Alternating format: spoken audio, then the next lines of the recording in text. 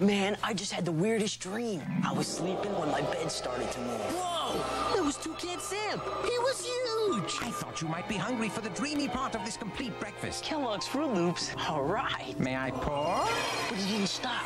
That's okay. I had a spoon. I was digging the orange, lemon, lime, and cherry flavor when suddenly there was big food everywhere. Then Toucan bailed. Catch you later. Oh, no! Ah! Aren't dreams weird? Yes.